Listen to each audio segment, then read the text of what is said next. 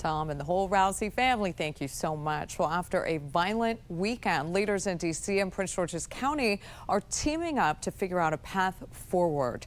Multiple shootings, two of them deadly, have police and elected officials searching for solutions. 7 News reporter Rebecca Turco is joining us live from county government headquarters there in Largo. And Rebecca, the council chair helped organize an anti-crime walk today, but they've got a little more confidence these days, right? And that's because the Real Time Crime Center over in D.C., I'm told it's been making such an impact already that it has been so helpful, especially with the ongoing issue of crime crossing the border.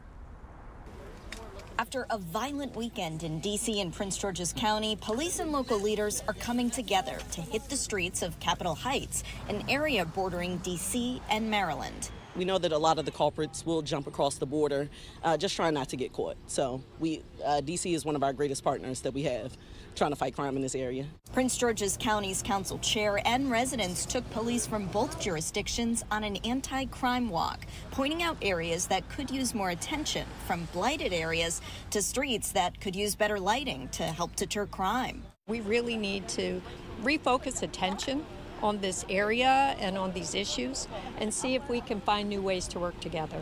Our community has been through this a lot. Donnie Joyner with the Chapel Oaks Community Association wants to see action taken. We just want to make sure that the neighborhood is safe for our families as well as to just improve the quality of life for people. Communication is key between the agencies. On the district's end, we're told the Real Time Crime Center is making an impact. So the Real Time Crime Center is, if I can say, it's worth its weight in gold. Commander Jerron Hickman says it's improving the information flow, not just with MPD, but with neighboring agencies.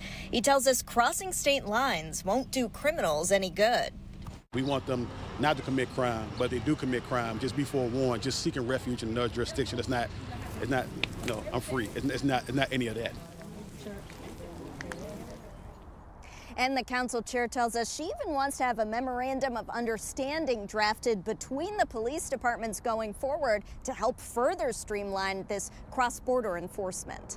Reporting live in Prince George's County, Rebecca Turco, 7 News. A live look at the roads from Storm Track 7 in Lee's.